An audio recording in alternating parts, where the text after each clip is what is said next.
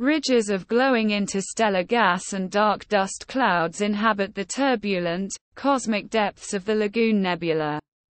Also known as M8, the bright star-forming region is about 5,000 light-years distant.